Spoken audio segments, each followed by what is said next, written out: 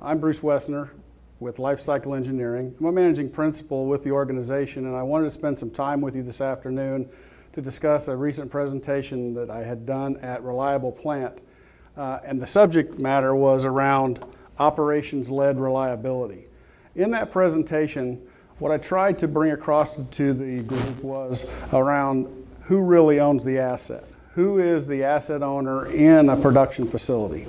I bring it back to uh, real life. I own a 98 Volvo, uh, and that car, you know, 182,000 miles, continues to run. Uh, why is that?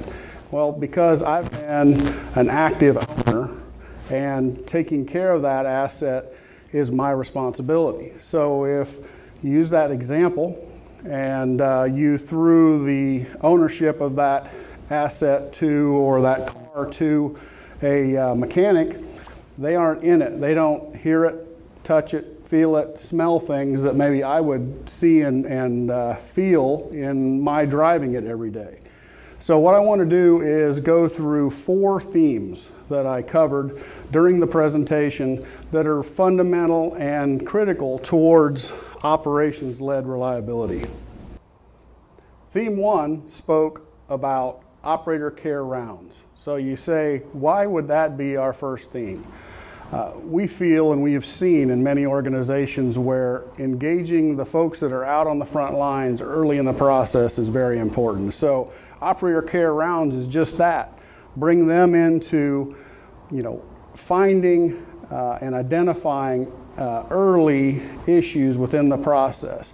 It's creating a, a process for them to, to take a walkabout within the process and measure things consistently. They've got a checklist that they work from, and taking that checklist every day and working to make sure that the process works within those confines is critical. The findings they have may fall on two sides of the operation. One, things within their scope, things that they can fix. The other side is where they may need to pull in the maintenance organization, the specialists, to come in and help them resolve a chronic issue.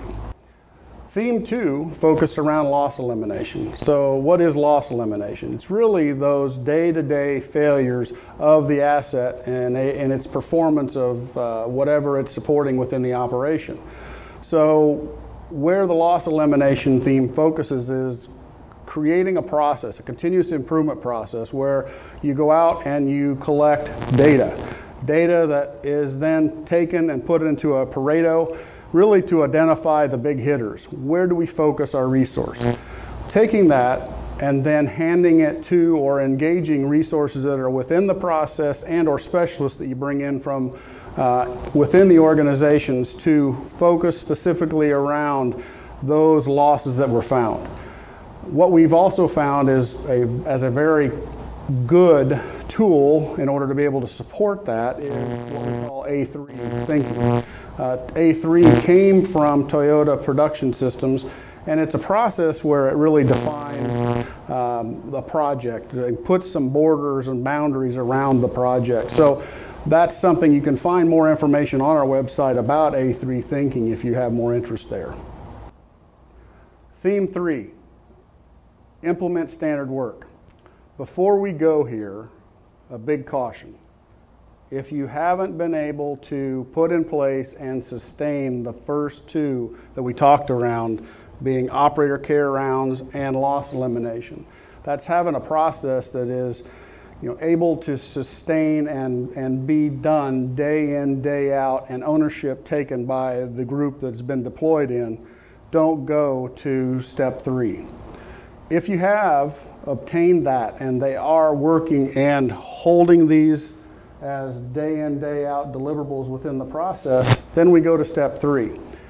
Step three around implementing standard work takes that day in, day out operation and refines it to the next stage. What we do there is we focus around really operational procedures and standards. It's putting in place consistency. How many organizations have you been in that there was a huge difference between how first shift operated, second shift, and third? It was like they were three different companies, but yet they worked within the same process. So that those consistent operator procedures and standards are key. Next thing would be really focusing around how do we start up the process? How do we shut down the process? How do we make a changeover within the process? The other thing that supports first around procedures is how do I hand over to the next shift in order to be able to make that process run the same day in, day out, giving you overall process stability. And last is if there's anything that you find through uh, implementing standard work that would require new procedures and new standards. Uh, it's engaging those at this point in time so that you know everything that is required to run that process is in place. That's key. The last step, step four, is autonomous maintenance. Now, there's a lot of books out there on TPM, so you know, feel free to reach out. Those seven steps of autonomous maintenance are very standard, and if you'd like more information around that, feel free to come back to us and, and we can help you with it. I'd like to kind of wrap up around so, what are the keys or success factors that need to be in place in order to make operator care rounds, loss elimination, implementing standard work, and autonomous maintenance happen? Well, those keys really uh, are five things. It's really starting very basic, engaging the doers within your organization. Those folks that are out there in the process day in and day out that are, that are living with the pain. Have them be part of the solution. Second would be around active leadership. If we don't have active and engaged leadership, that means leaders that are out there um, doing the managing by walking around and touching the workforce uh, and being active, you know, that's what's going to have those folks that are out there actually doing the process recognize the importance of the efforts and actions that they're taking place. So active and visible leadership is key. Third thing is communication. Um, how many times do we say, oh, we're, we're communicating effectively? Well, all I say is communicate, communicate, communicate. The more we talk, the more that we uh, spread positive things, good things that are happening, the more that the organization can grow and learn from that. Uh, fourth thing is around reinforcing positives. Okay. How many organizations have, have you been in where all you heard was what didn't happen right, the bad things? I come back and we really recognize positive success. Make those positives be the things that we focus on. Have those constructive coaching moments you know, those are key, but have them be learnings, not negatives. And lastly, celebrate success. Uh, by celebrating success, again, the organization understands that these things that I'm doing day in and day out are important and they're helping us, you know, build our organization to be competitive. If you'd like to have more information or hear more about this subject, feel free to go to www.lce.com. Thank you.